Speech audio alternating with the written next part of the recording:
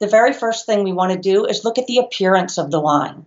When it comes to appearance, there are only two points available for the wine, even though there's four things on your SAT card. We're going to hone in right where the points lie.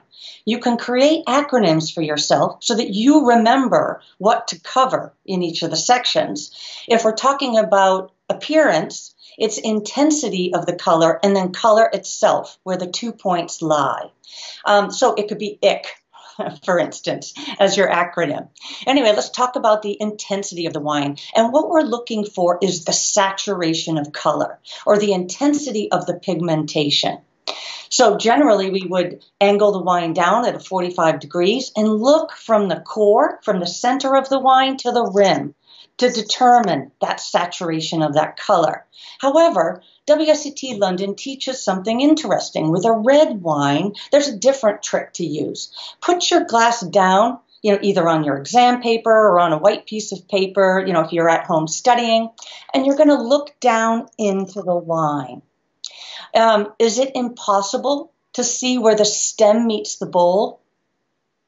I don't know for any of you who have a glass of wine in front of you, if it's red, go ahead and look down in the glass. Can you see where the stem meets the bowl? Clearly, not just a glimmer. We want a clear look at the full circle.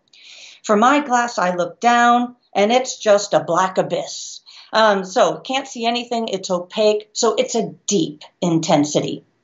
Now, if your wine is not deep, you need to decide between medium and pale. The way that WSET taught me to, to teach is you take the glass then and you put it down on top of either your SAT card or your exam paper.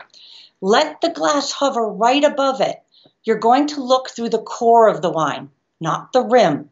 You're going to look through the core. Can you read every single word that's on either your SAT card or on your exam? If the answer is no, it's medium. If the answer is yes, then it's pale. So that's a nice cheat sheet way to look at your intensity of a red wine. Now let's go off to color. You've got different choices for a red wine. Purple. A lot of students that I have are saying, ah, is it purple? Is it ruby? Or if it's obviously purple, of course, call it purple. You might see a lot of bluish hue in the wine to call it purple. A lot of Argentinian Malbecs, um, Northern Rhone Syrahs can be purple, but also Zinfandel and some others may be purple. But a lot of wines are more going to be ruby. That's your youthful red is going to be called ruby here.